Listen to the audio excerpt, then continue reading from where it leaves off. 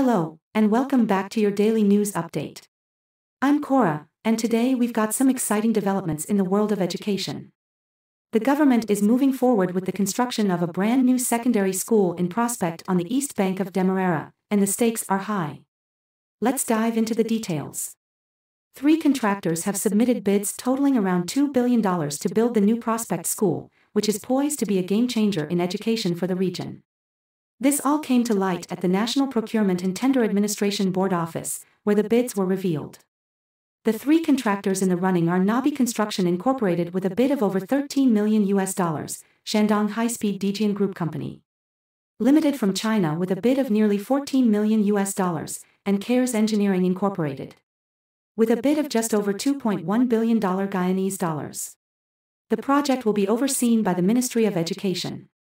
The project is being financed through a loan from the World Bank, as part of the Guyana Strengthening Human Capital Through Education project.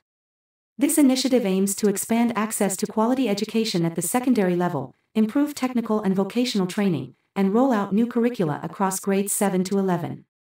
The new Prospect School will be state of the art, with facilities including 25 classrooms, science labs, IT labs, a library, recreational areas, and more. Plus, it will accommodate around 1,000 students.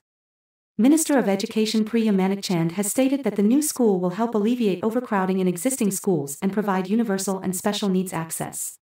Once completed, the Prospect School will lead to the closure of several primary schools in the area to streamline resources and improve student experiences.